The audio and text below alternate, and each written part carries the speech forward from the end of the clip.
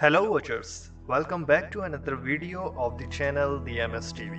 I hope you are doing great. Today we are going to watch NASA satellites track aircraft size asteroid 2023 KX hurtling towards Earth.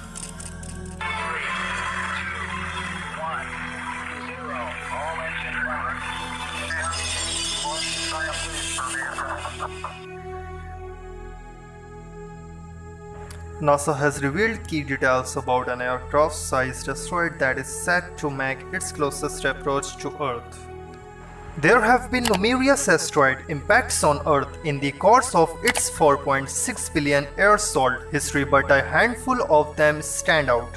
One of the earliest asteroid impacts on Earth was around 4.5 billion years old when a massive object called Theia, about the size of Mars, collided with Earth and resulted in the formation of the Moon. Another asteroid crashed in the Yucatan Peninsula in Mexico nearly 65 million years ago and it wiped out the dinosaurs. The most recent asteroid impact happened just a decade ago when an asteroid exploded over the city of Chelyabinsk in 2013. The largest asteroid to hit Earth was around 2 billion years ago. The increasing number of asteroids that pass Earth closely has made it imperative for space agencies such as NASA and ESA to continuously monitor them, and another one is set to pass Earth closely soon. Now the asteroids details here.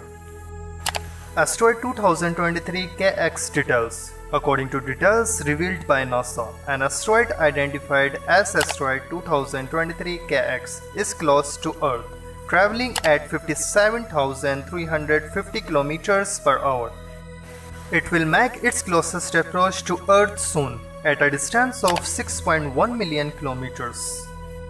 It belongs to the Amor group of near-Earth asteroids which are Earth-approaching asteroids with orbits exterior to Earth but interior to Mars, named after asteroid 1221 Amor. In terms of size, NASA estimates it to be around 75 feet and 167 feet wide making it almost as big as an aircraft.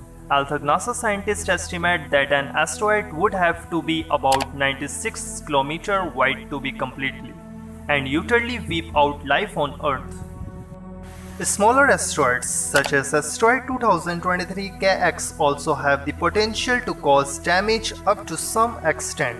For example, the asteroid which exploded over the city of Chelyabinsk was just 59 feet wide when it exploded. It damaged nearly 8,000 buildings and left over 1,000 people injured. If you really like our video, feel free to support us with a thumbs up and also don't forget to subscribe our channel and look forward to the videos that will be waiting for you in the future.